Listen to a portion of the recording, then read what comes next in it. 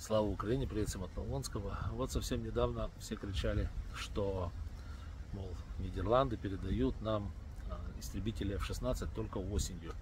И все посыпали голову пеплом, кричали, что это зрада невероятная, зрада зрадная. Вот, и вообще все кошмарно и ужасно. А что на самом деле? На самом деле вот сейчас э, иностранная пресса, сейчас, в частности э, газета The Standard, ну и другие, собственно говоря, не только она, пишут уже совершенно другое. Не по поводу Нидерландов. Дело в том, что истребители нам будут передавать не только Нидерланды, но и другие участники так называемой истребительной коалиции. Так вот, они четко и понятно написали, что первые истребители а, Украина получит то ли к началу июня, то ли к началу июля.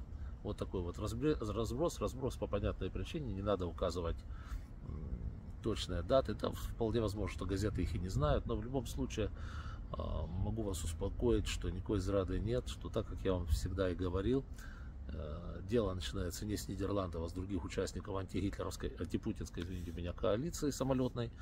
И самолеты будут раньше, да. То есть, как, как и было обещано, может быть, в конце весны, но, возможно, в начале лета. Когда точно, расисты это, как говорится, почувствуют на своей шкуре. Все будет, Украина.